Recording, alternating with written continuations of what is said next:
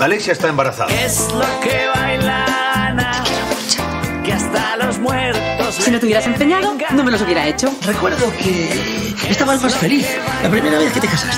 No estoy embarazada. ¿Qué? Hola, padre. Pide un turno. El papá se lo consulta al Dalai Lama. ¡Uy, qué El guapo!